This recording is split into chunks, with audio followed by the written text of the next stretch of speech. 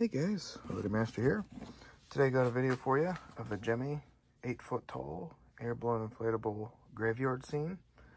This was sold, I think at Walmart. Uh, maybe, I don't know. But it was sold at Walmart, I think, I'm, I'm just saying, in 2007. I think I'd have to look at the, the tag. It might have a sticker, but, but yeah, there's the box. I don't remember when I got this thing. I, I don't know. I really don't. Um, sadly, the whole dirt is shot. Everything else is in good shape, but because the bottom shot, the tree doesn't stand. So I have the Whirlwind hooked up to it just for the video. So without further ado.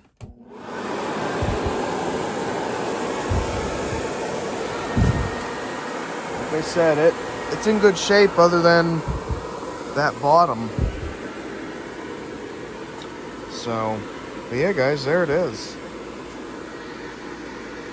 One of my favorite inflatables. Now, there is a model with the sound box, but I think this one's cool. And honestly, if it was a little wider and there was like more tombstones, I think that would have been a really cool light show, like a Halloween light show. But, so there it is. Let me go turn the lights out.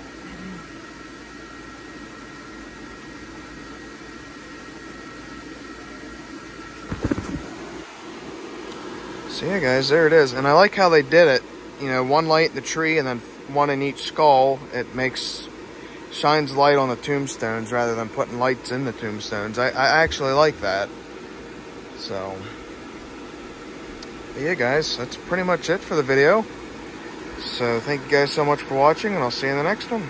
Peace out.